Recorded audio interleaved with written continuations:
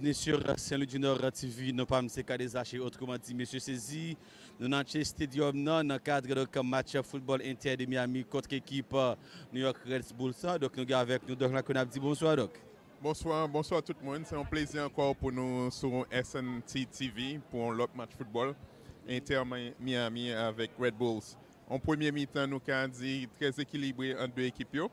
Et Red Bulls a profité d'un contre-attaque pendant que Miami a essayé de dominer pour inscrire le premier goal dans le match.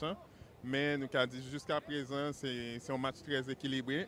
Et surtout, nous avons dit dans le match, contrairement à match précédent, côté Inter Miami, depuis la première minute, ils ont encaissé goal. Mais fois ça, ils ont résisté beaucoup plus. Très bien, donc c'est une équipe Inter Miami qui a joué avec un pile patience, tout comme avec New York Red Bulls.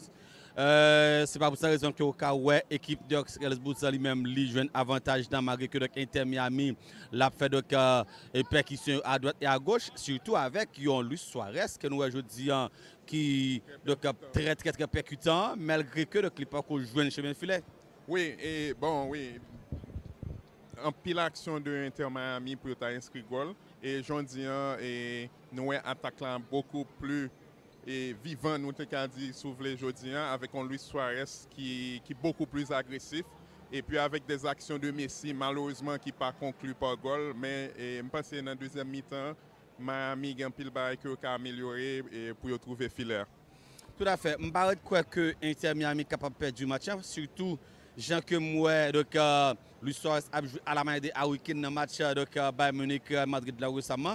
Je dis ce stadium, c'est sûr que donc, nous sommes capables de jouer en deuxième période qui est beaucoup plus animée que l'équipe entière donc, de Miami. Donc.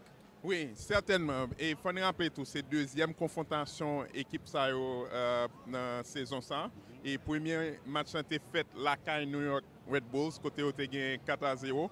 Et match a supposé en revanche sauvé pour Inter Miami et nous espérons pendant la deuxième mi-temps et nous avons un Miami qui est beaucoup plus agressif et qui a des occasions de but et pour faire que tout fanatique, ça près de 10 000 fanatiques qui débarquent pour supporter Inter Miami.